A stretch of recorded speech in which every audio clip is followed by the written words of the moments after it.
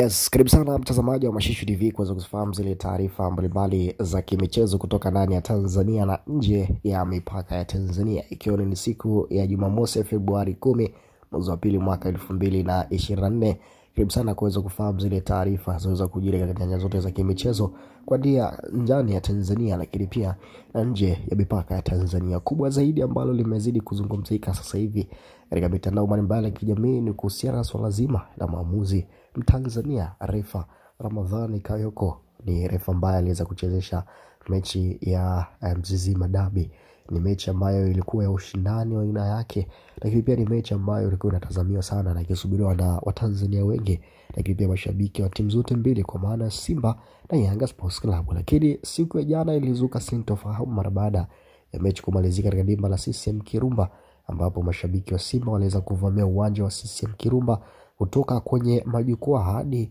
ndani ya pichi, wakiweza kwenda wakiandamana, wakiimba nyimbo moja wakisema hatumtaki refa Kayoko, hatutaki refa Kayoko. Nini ambacho Ramadhani Kayoko alikifanya? Haya ni baadhi ya matukio kwenye picha, mtazamaji wa Mashishu TV, lakini moja tukio ambalo limeweza kusababisha refa huyu kuweza kuzungumzika zaidi katika mitandao mbalimbali ya kijamii na watu wengine wakipelekea kusema kwamba uh, waamuzi wetu wa Tanzania wanakosa nafasi uh, kule FIFA hata kafu kwenda kuchezesha mechi mbalimbali hata kuwa uh, wasaidizi wa kushika eh, kwa maana saidizi line 1 line 2 na katika michuano mbalimbali ya CAF lakini pia na FIFA. Na hili hapa ni tukio mojawapo kwenye marejeo ya picha ambapo pa Omar Jobe ambaye huyu aliweza kufanyia madhambi katika penalty box area ya eh, katika upande wa Azam FC, lakini Ramadhani Kayoko alikuwa karibu eh, kama mita mbili hivi na eh, sehemu la eneo la tukio, lakini eh, baada ya kufanyia madhambi pa Omar Jobe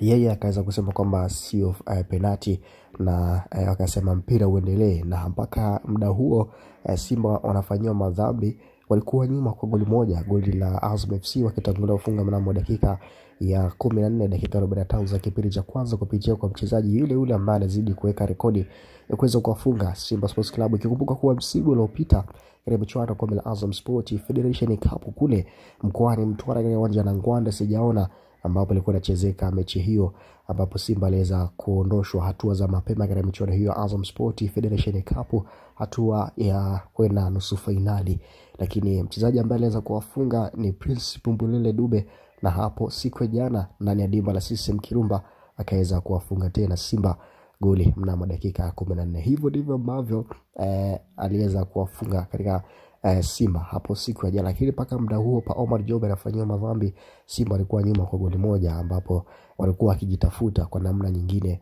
kuweza kurejesha ile hali na morali kwa mashabiki wa Simba, kwa sababu walikuwa washakata tamaa na kuweza kujua kwamba mechi hiyo wameweza kufungwa tena na Azam FC. Lakini muda huo penati uh, Simba wakaweza kunyimwa, lakini mnamo dakika eh, tisini zikiongezwa tano eh, wakaweza kufanyia tena faulu yule yule tena pa Omar Jobe eneo lile lile lakini nyuma ni nyuma kidogo, ndipo ambapo eh, Chona Chama mzee wa kupiga mipira iliyokufa akaanza kuchukua mpira ule na kuweza kuupiga eh, na mpira ule haukuguswa na mtu yoyote, moja kwa moja mlinda mlango wa Azam FC alikuwa hana la kufanya na kushangaa tu mpira umeweza kuingia javuni eh, na dakika tisini na zile tano za jioni kabisa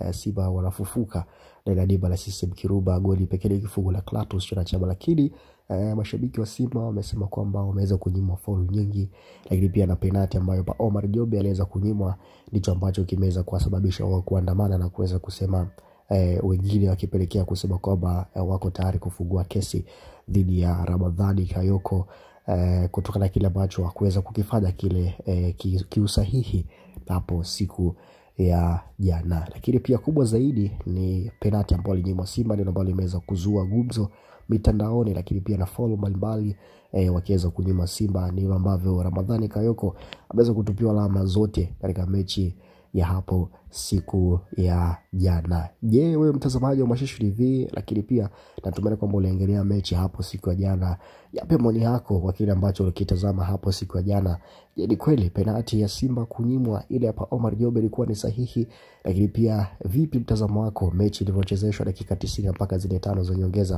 uh, katika dimba la CCM Kirumba na mechi kama lazika kwa wote kugawana alama moja moja, kwa maana Simba wakaondoka na goli moja, Azam FC wakaweza kuondoka na goli moja. Tuandikie maoni yako chini ya video. Mimi official Moto Msanoaji, ni follow kule Instagram na patikana kwa jina moja la official Moto Msanoaji, lakini pia tufollow kule Instagram tunapatikana kwa jina moja la Mashishu underscore TV. This is Mashishu TV, the brand of East Africa.